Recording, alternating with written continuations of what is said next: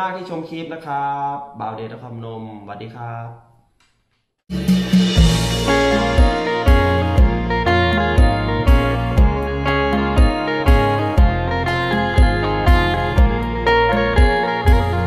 ช่วยกด Subscribe